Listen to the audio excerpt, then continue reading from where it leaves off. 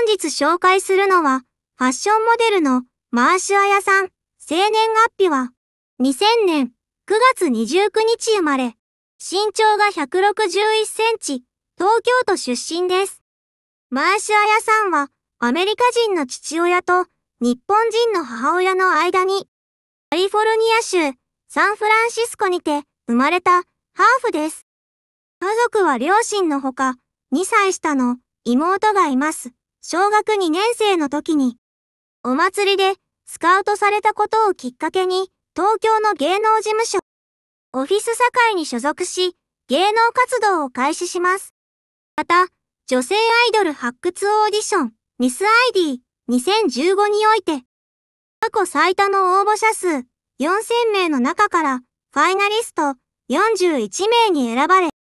ミス ID 個人賞の3冠を受賞し、第2の1000年に一度のアイドルとして注目を集めます。2015年8月のミスセブンティーン2015に選ばれて、同志の専属モデルとなった。2021年2月、TBS ドラマ、ホリミアでテレビドラマ初出演。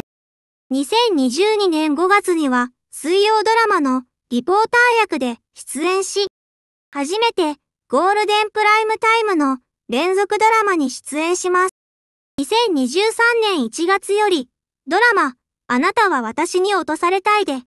初めて連続ドラマにレギュラー出演しています。今後、マーシアヤさんが活躍されるよう、応援していきたいですね。ご視聴ありがとうございました。このチャンネルでは、グラビア、モデル、アイドルなどを紹介しています。よろしければ、チャンネル登録と高評価、よろしくお願いします。